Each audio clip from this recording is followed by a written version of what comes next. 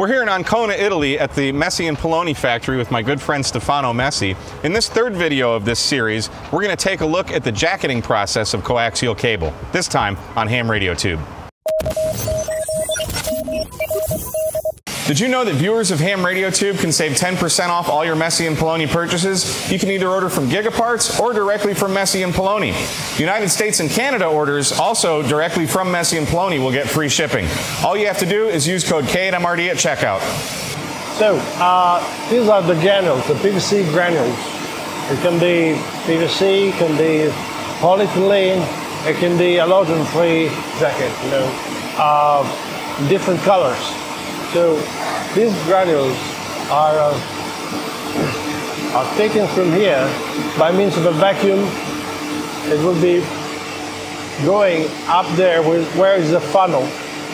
Again, it will be preheated so that we get rid of any sort of moisture, condensation, or whatsoever. So after that, goes down to the funnel down there. And uh, and then will go inside extruder. It will be mounted, and by means of the screw, it will be brought towards the extrusion head. The braided wire, there's a braided coaxial cable.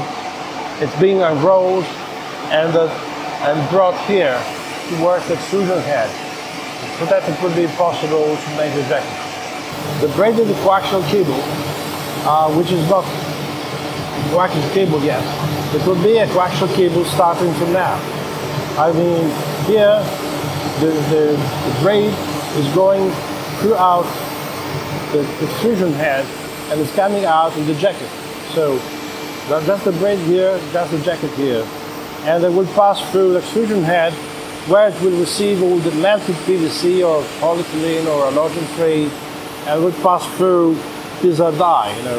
Uh, these are special dies which are different according to the sort of uh, material that we are going to use.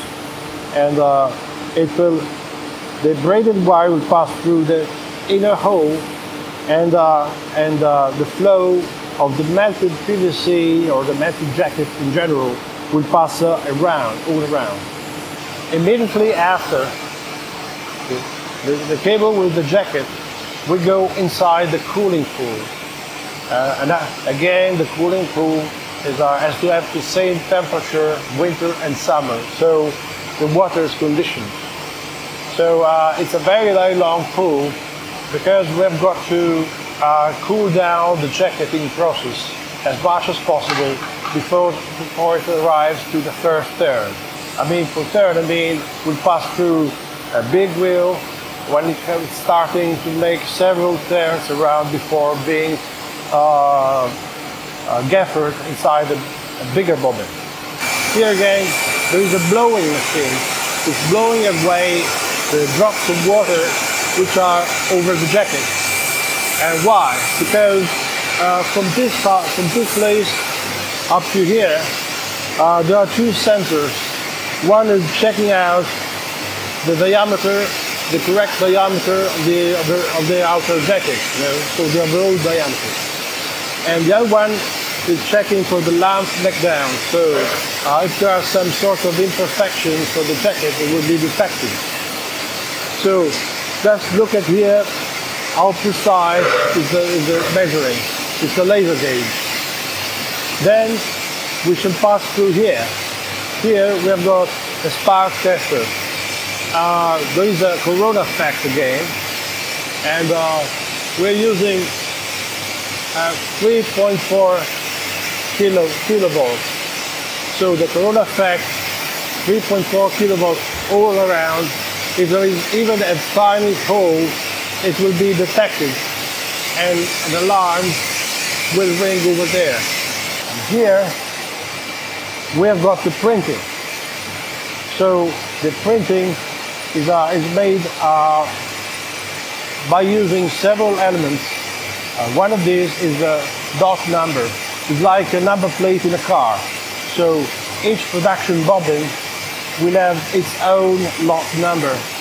And uh, for, for each lot number, it will be recorded the, the diameter of the core, the diameter of the dielectric, the capacitance of the dielectric and the diameter of the jacket.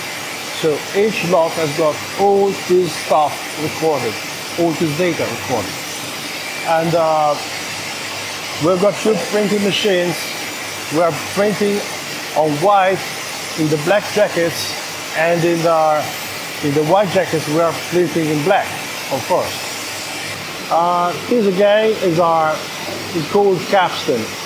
So the capstan is taking the cable and these are pulling the cable gently and the cable will go over there. It will pass through the wheels several times. It's a, a machine is called compensator.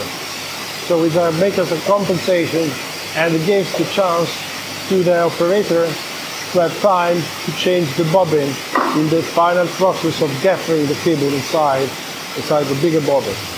Now that we've seen how the jacket and the label are applied to the coaxial cable, in the next video in this series, we're going to take this giant drum and shrink it down to a more manageable size that you'll be able to purchase.